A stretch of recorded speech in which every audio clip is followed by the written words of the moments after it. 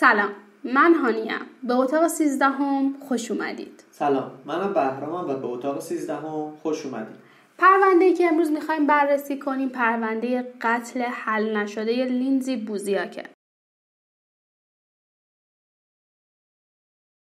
در کنار شهر ونکوور جزیره وجود داره به اسم جزیره ونکوور. در جنوبی ترین قسمت این جزیره شهری وجود داره به اسم شهر ویکتوریا که از 350 هزار نفر جمعیتی که این جزیره داره نصف این تعداد رو توی ویکتوریا زندگی می‌کنن. داستان ما دقیقا از همین نقطه شروع میشه. لینزی دختر 24 ساله کانادایی بود که در شهر ویکتوریا زندگی می‌کرد.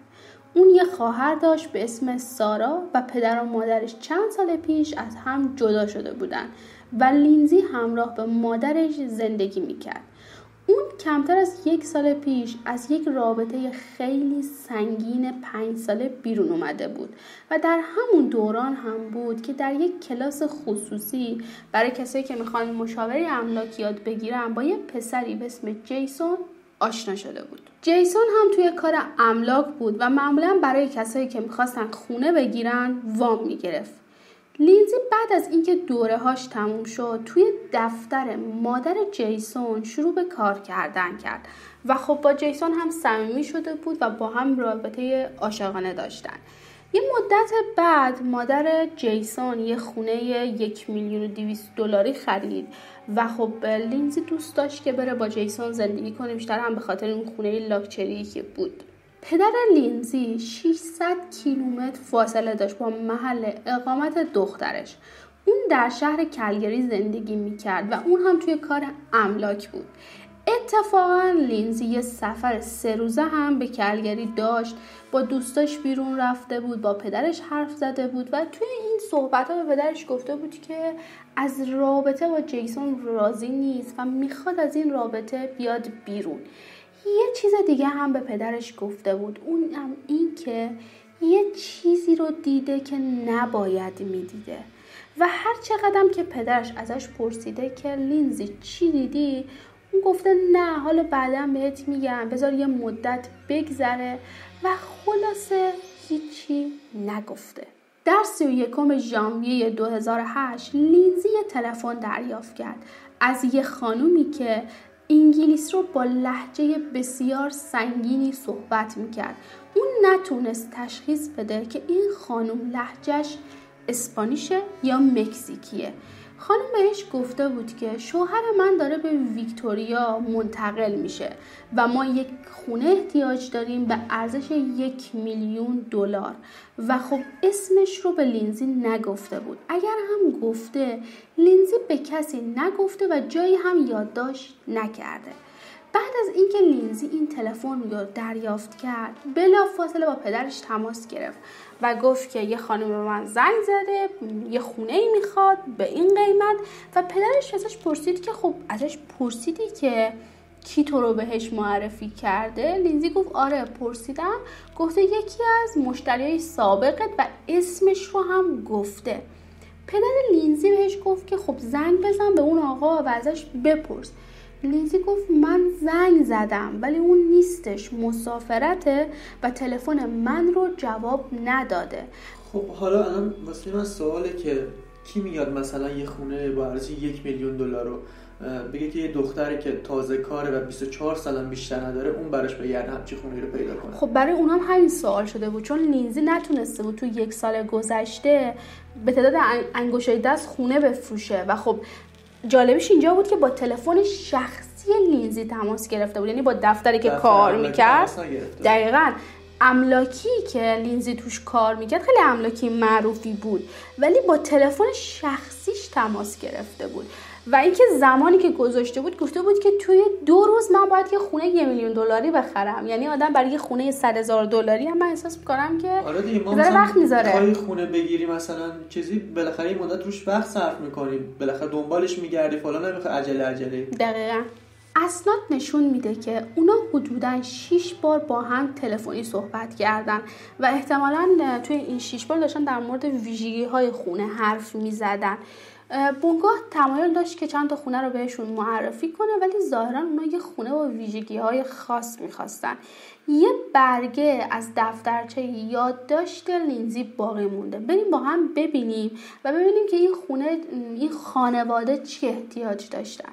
اونا در ابتدا گفتن که یه خونه می‌خوام به ارزش حدودا یک میلیون دلار. خونه باید نوساز و جدید باشه. خونه رو باید تو طی دو روز بخرن.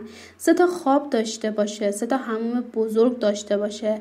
و برای خدمتکار خونه هم اتاق جدا داشته باشه که از قسمت اصلی خونه هم جدا باشه.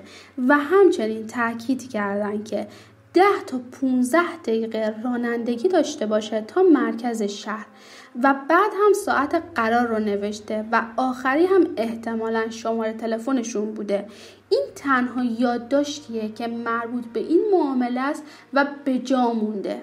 لینزی چند تا از این پیشنهاد خونه ها رو براشون فرستاده با ایمیل و بعدش هم یه تماس ده دقیقه داشتن که ما نمی‌دونیم محتویات تماس چی بوده.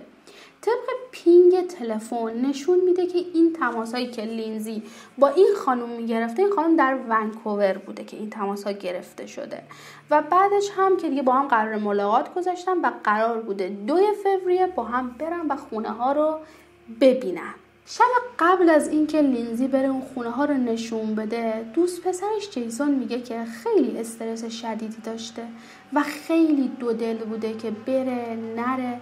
و جیسون میگه من بهش گفتم که ببین چند وقت پیش هم ما یه تماس اینجوری دریافت کردیم توی دفتر و آخر هم تونستیم یه خونه 900 هزار دلاری رو بفروشیم. خب این احتمالا همین جوریه. مشکوک نیست انقدر که تو فکر می‌کنی.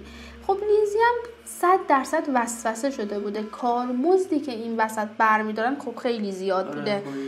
برای خونه یه میلیون دلاری. و قرار بود که فردا لینزی با اینها ملاقات کنه. ما می‌دونیم که در دوی فوریه لینزی و جیسون در حدود ساعت چهار با هم میرن. یه نهار می‌خورن که خیلی هم دیر وقت بوده. بعدش هم هر دو با ماشین های جداگانه میرن و لینزی به جیسون گفته که من میرم خونه که لباسام رو عوض کنم و بعد برم مکزیکی ها رو ببینم. جیسون اون شب قرار بود با یکی از دوستاش هاکی بازی کنن و بعدش هم با هم شام بخورن.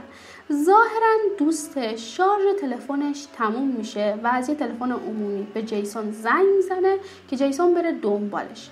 جیسون هم میره دنبالش و بعد ماشین رو می‌برن می‌ذارن پارکینگ. دوربین های امنیتی این فیلم رو گرفته که دقیقا ساعت پنج و نیم جیسون و دوستش از پارکینگ خارج میشن. و بعدش هم جیسون توی این مدت با لینزی که دوبار تماس می‌گیره و بهش میگه که می‌خوای من بیام خونه رو نشون بدم. می‌خوای استرس نداشته باشی که لینزی قبول نمی‌کنه و میگه که من خودم می‌خوام این کار رو انجام بدم. جیسون گفته که من یه چند تا مدارک می‌خواستم که لینزی امضا کنه و همین که می‌خواستم برم یه سر و گوش یاب بدم اون اطراف. برای همین رفتم در اون خونه. اول زنگ می‌زنه به لینزی که آدرس رو بگیره ازش چون نتونسته ظاهرا آدرس رو پیدا کنه. که لینزی بهش میگه اوه عزیزم تلفن رو قطع کن مکزیکی ها اینجان. و بعدش هم براش آدرس خونه رو میفرسته. و جیسون هم بهش میگه که من توی راهم. ظاهرا لینزی دیگه از این پیامک به بعد رو باز نکرده و جواب هم نداده. در حدود ساعت پنج و چهل و پنج دقیقه جیسون میگه که من رسیدم در خونه. ما اینجا دو تا روایت داریم. بریم روی تصویر. می‌خوام یه چیزا بهتون نشون بدم. این خونه ای که می‌بینید خونه ای که لینزی برده به مکزیکی ها نشون بده. ظاهرا جیسون که میاد میاد اینجا روبروی خونه وای میسته با ماشین. اول جیسون میگه که من یه مردی رو دیدم که رفت داخل. بعدش حرفش رو عوض می‌کنه. میگه نه من اشتباه گفتم.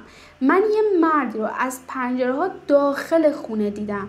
برای همین فکر می‌کردم که کسی داخل خونه است و داره لینزی خونه رو بهشون نشون میده. بعد از یه مدت اون میاد توی جای پارکی که اینجا وجود داره وای میسته جیسون به لینزی پیام میده و ازش می‌پرسه که حالت خوبه ولی لینزی بازم جواب نمیده. خب مگه نشون دادن یه خونه چقدر طول می‌کشه دیگه؟ نگران شده بوده. میگه که من از ماشین اومدم پایین که برم داخل خونه که ببینم دارن چیکار می‌کنن.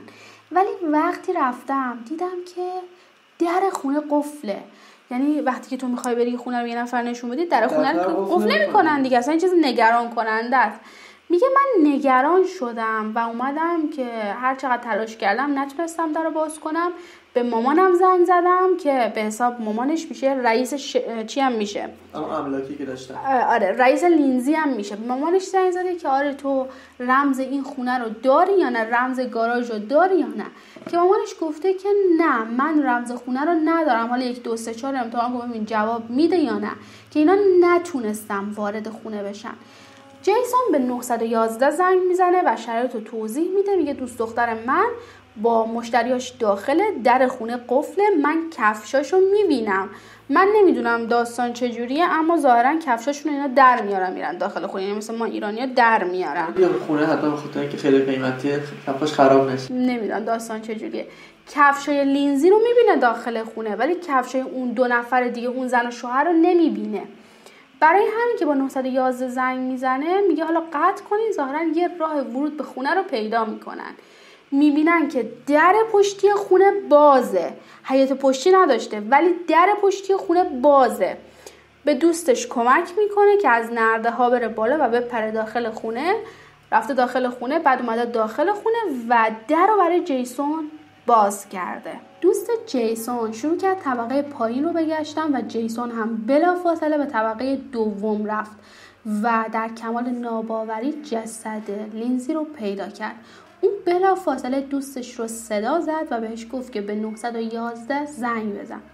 طبق اسنادی که وجود داره ظاهرا دوستش به 911 گفته که ما جسد لینزی رو خوابیده در خون پیدا کردیم و یه سری رد پا هم داخل خونه هستش.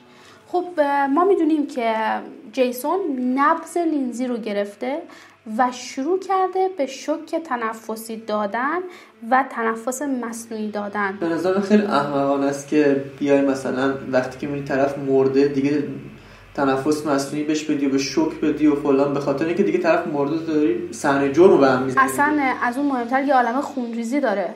خیلی خونریزی داشته. اگه مثلا می‌خواسته خیلی کار بکنه و جلوی خونریزی رو می‌گرفته. اصلا خودش گفته موقعی که من شروع کردم به شوک تنفسی داشتن نبض شوکی گرفتم هیچ علائم حیاتی نداشته.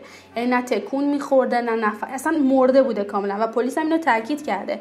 پلیس گفته ساعت مرگ یه چیزی بین 5 و 38 دقیقه تا 5 و 40 دقیقه بوده و مدت زمان حمله هم که صورت گرفته 3 دقیقه فقط بوده. یعنی اون کسی که بهش حمله کردن 3 دقیقه وقت گذاشتن. و لینزی رو از پا در آوردن خب وقتی که پلیس رسید بلا فاصله جیسون و دوستش رو دستبند زدن در ماشین های جداگانه فرستادن به اداره پلیس برای تحقیقات. در ساعت پنج و چهل دقیقه از گوشی لینزی به تلفن یکی از دوستاش زنگ زده بوده و اتفاقا اون دوستش هم تلفن رو جواب داده و یه صدای خرخه صدای خفه ای رو میشنیده. ظاهرا مدت خیلی زیادی گذشته بوده که لینزی به این دوستش زنگ زده.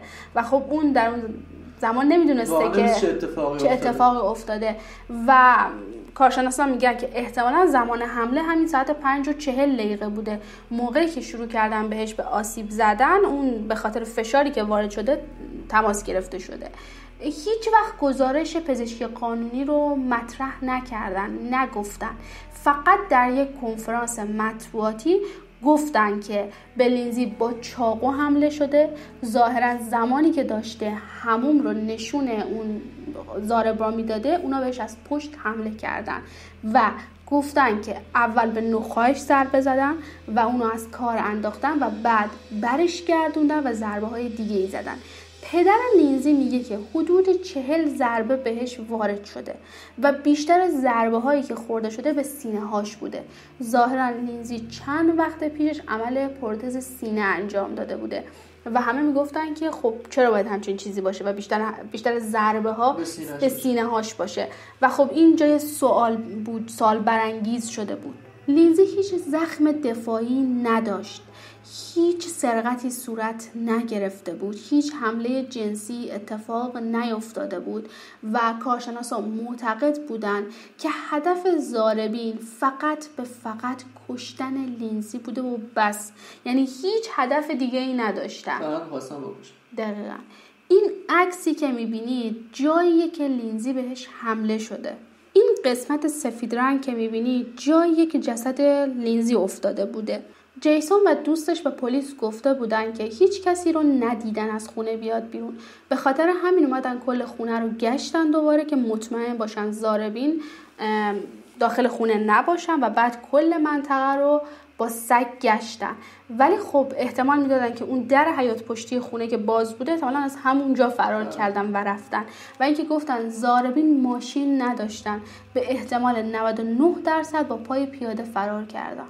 متخصصین و کارشناسایی که خونه رو گشتن نتونستن دی ای پیدا کنن نه تار مو نه رد پای به درد بخوری و همشون به این نتیجه رسیدن که احتمالا قاتلین حرفه ای این کارو کرده و کسی نبوده که مبتدی باشه یا قتل اولش باشه این کارو کرده. که میگی من یاد سریال هانیبال میافتم دقیقا همون لباس پلاستیکی رو پوشیده و اومده کارشو کرده آره. و رفته. هیچ دی هم جا نذاشته. هیچ دی هم جا نذاشته دقیقا. و اینکه چهل ضربه چاقو وارد شده. این چاقویی که آوردن چجوری بوده که به دست دست خودشون هیچ آسیبی وارد نکرده که مثلا زخمیشون کنه. یعنی قشنگ مشخصه در کمال خونسردی. قاتلای حرفه‌ای هم دقیقا. تلفنی که زاربین با لینزی تماس گرفته بودن خب بررسی شد. مشخص شد این تلفن دو ماه قبل از قتل لینزی خریداری شده. به یه اسم فیک به اسم پالو رودریگز که یه اسم خیلی رایج در برزیل آدرسی که داده بودن آدرس یه مرکز تجاری بود و خب مشخص نبود مالکیه با پول نقد پرداختش کرده بودن و فیلم دوربین های امنیتی هم موجود نبود. ظاهرا بعد از یه مدتی این فیلم ها پاک میشه پس مشخص نیست که چه کسی این سیم کارت خریده.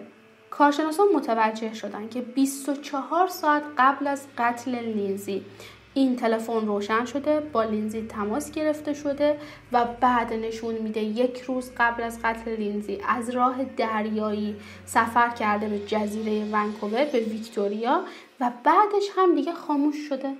و اصلا دیگه از این تلفن استفاده نشده. یعنی که یعنی الان واسه همین کار استفادهش کرده. فقط به فقط برای این کار استفاده شده و بس و نتونستن چیز دیگه پیدا کنن. کاراگاه ها معتقدن که این قتل بسیار برنامه ریزی شده بوده. اول که اینا اومده بودن خونه ای رو انتخاب کردن که 15 دقیقه رانندگی تا داخل شهر داره. یعنی عملا خارج از شهر بوده. دور از دسترس بوده. دقیقا. خونه هایی که اونجا بوده خونه های مسکونی تعدادشون به اندازه انگشت های دستم نبوده. یعنی دو سه تا عملا بوده و بقیهش خونه های در حال ساخت بوده و کارگرایی هم که اونجا کار می‌کردن و حضور داشتن فقط تا ساعت پنج بعد از ظهر اونجا بودن. در صورتی که قرار ملاقاتی که اینا داشتن پنج و نیم بوده. هم جوری تنظیم کرده بودن که خلوت باشه دقیقا. و از اون مهمتر اینا لینزی رو برده بودن طبقه دوم کشته بودنش که کسی از داخل پنجره اینها رو در حال قتل نبینه یا اینکه دیرتر جسدش کشف بشه که اینا بتونن فرار کنن. و حتی اینا انقدر حرفه‌ای بودن که ماشین هم با خودشون نیاورده بودن. یعنی با پای پیاده قشنگ اومدن و ریلکس رفتن. بعدش هم اینا چند تا شاهد هم وجود داشتن که اومدن یه سری اطلاعات دادن در مورد اینا. اولش یه خانومی بود که می‌گفت که من دیدم این دو نفر یه زن بوده یه مرد بوده. مردش که مرد حدودا 180 قدش بوده یه کت بلند مشکی تنش بوده سفید پوست بودن و یه خانوم هم کنارش بوده. این خانوم یه موهای بلند زشتی داشته که به نظر می اومده کلاهگیسه یعنی کسی نمی‌تونه موهاشو در اون حد بلند کنه انقدر زشت بوده. و بعدش یه لباس رنگارنگ داشته که الان عکسش رو می‌بینید و روش یه کت پوشیده. کارشناسان معتقدن این لباس به این دلیل انتخاب شده که کسی که داره اونها رو می‌بینه به صورتشون توجهی نکنه بیشتر جلب لباس بشه و نتونستن از لباس اطلاعات به درد بخوری به دست بیارن. چرا که این لباس بسیار ارزون قیمت بوده مارک خاصی نداشته توی همه فروشگاه در حال فروختن بوده. یه آقای دیگه هم بود که ظاهرا از داخل ماشینش لینزی و این زن و شوهر رو دیده بود که دارن خارج از خونه کنار ماشین لینزی دارن حرف می‌زنن. بنابراین کاراگاه ها به این نتیجه رسیدن که احتمالا زاره یه زن بوده و یه مرد بوده. و اما بریم سراغ جیسون. جیسون که بردنش صحبت کردم باهاش بعدش هم آوردن که صحنه قتل رو بازسازی کنه و بگه چجوری وارد خونه شده یه تیکه کوتاهی ازش پخش شده از این مصاحبه بریم با هم ببینیم Which side of the door was going on when when the door opened for you? Right where door. So Yeah. so I'll do that. I'm just Yeah. so I know where to go. So he opens it like this. Does he open it all the way, or you just He un- he unlocked the door. Okay, he unlocks it. Yeah. So I unlock it. Okay, it's unlocked. I just opened it. Okay. So So I don't know if his hand. He I know that because I heard it unlock. And Okay. The second he unlocked it, I I pushed it open. okay. Uh, What happened then? Um, he was already in front of me, Yeah. And I said I'm running upstairs, Okay. and I was yelling. I was yelling. I'm like Lindsay, Lindsay, Lindsay. And where did Cohen go? He went straight ahead. He went straight ahead. Yeah. Okay. Um, So just hang on a sec there. yeah. Uh, so he went straight ahead, Yeah. and you you went running upstairs. Yeah. Okay, so let me, okay, s- let me go upstairs first, and then you can talk your, your way, go up the stairs, and then, we'll go to the end, all right? You doing okay? Yeah. Okay,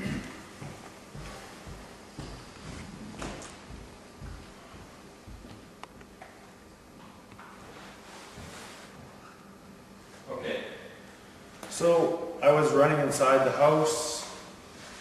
Uh, I just came running up the stairs. do you remember grabbing the banister at all, or?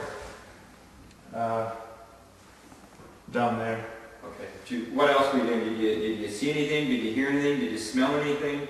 Kind of put yourself back there into, into that, that exact moment.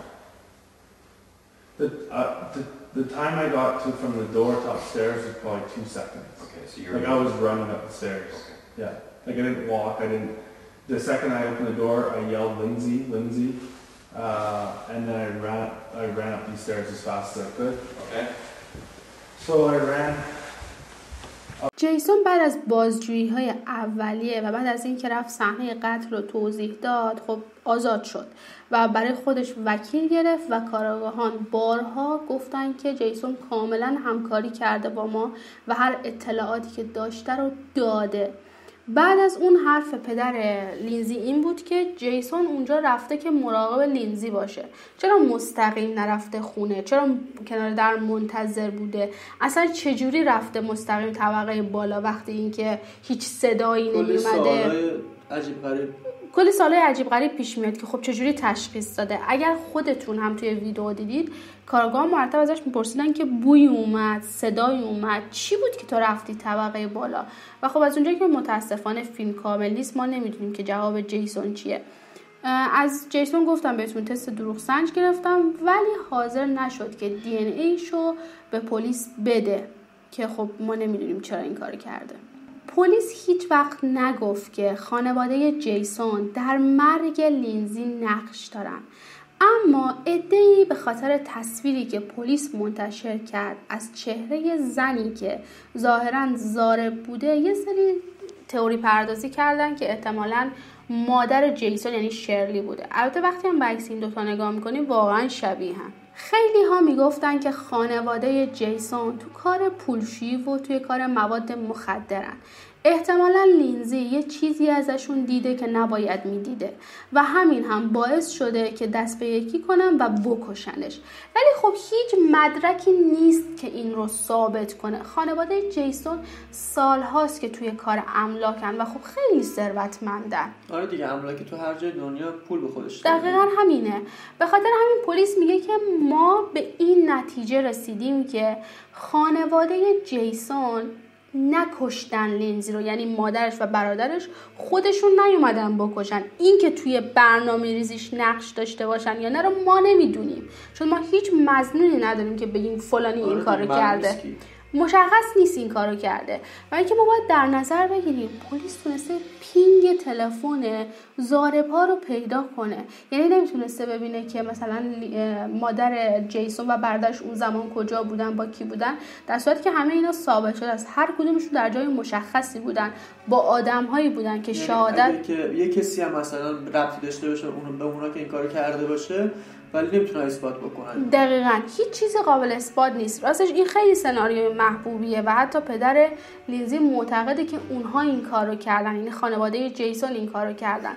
ولی من هیچ چیزی پیدا نکردم. بتونم این رو برای خودم حداقل ثابت کنم که خانواده جیسون این کار انجام دادن. از طرف دیگه یه مردی وجود داره به اسم زیگی. این آدم یه خورده فروش مواد مخدره که بعدها بعد از قتل لینزی دستگیر میشه به جرم فروش مواد مخدر. ظاهرا یه اقدام به قتل هم داشته. این آدم یکی از دوستان هاکی جیسونه که سالهای سال با هم هاکی بازی کردن و از اون طرف هم سالهای زیادی مستجر شرلی یعنی مادر جیسون بوده. و یه عده می‌گفتن که احتمالا خانواده جیسون زیگی رو استخدام کردن که لینزی رو بکشه. ولی خب مادر جیسون می‌گفت که من تو این کارم من املاکیم من خونم رو اجاره دادم. این آدم برای من دردسری درست نکرده که من بخوام بیرونش کنم. اجارهش هم سر وقت می‌داده و من نمی‌تونم که بپذیرم که این ما اجیر کردیم این آدمو که بره لینزی رو بکشه. و بعد گفته شد که یه دوست لینزی داشته به اسم نیکی. ظاهرا چند ماه بعد از قتل لینزی دمدمای صبح بوده که تلفنش زنگ می‌خوره. وقتی تلفنش رو جواب میده می‌بینه که یه خانومی داره به یه لحجه فیک یه لحجه ساختگی انگلیسی که انگار مثلا داره اسپانیش صحبت می‌کنه داره صحبت می‌کنه. تلفن قطع شده. اون بلا فاصله حدودا سی دفعه به این شماره تلفن زنگ می‌زنه تا آخر اون خانم جواب میده. و این خانم شرلی بوده یعنی مادر جیسون. خب بهش میگه که چیکار داشتی؟ چرا به من زنگ زدی؟ شماره من دست تو چیکار می‌کنه؟ ظاهرا شرلی بهش میگه که آره من نمی‌دونم شماره تو تو گوشیم چیکار می‌کنه. شاید جیسون ذخیرش کرده و من می‌خواستم به نیکی که توی دفتر املاکیمون کار می‌کنه به اون زنگ بزنم. برای اشتباهی به تو زنگ زدم. نمی‌دونستم که شماره اون نیستش. ولی خب این خانم قبول نکرده و یه عده ازش خورده گرفتن مخصوصا کاراگاه. می‌گفتن که تو که دیدی این مدلی داره حرف می‌زنه؟ تو که می‌دونستی یکی نفر اینجوری به لینزی زنگ زده. چرا صدا رو ضبط نکردی؟ که تو بتونی الان اینو ثابت کنی. و شرلی مسئله رو گردن نگرفته که اسپانیش حرف می‌زده یا هر چیز دیگه و خب این هم گفته شده. سناریوی بعدی که می‌خوایم با هم بررسی کنیم احتمالا اتفاقیه که به نظر شخصی من برای لینزی افتاده و تقریبا کاراگاه هایی که روی این پرونده کار می‌کنن این مسئله رو قبول دارن. ما با هم صحبت کردیم و می‌دونیم که لینزی یه سفر سه روزه به کلگری داشته که حدودا 600 کیلومتر با محل زندگیش فاصله داشته.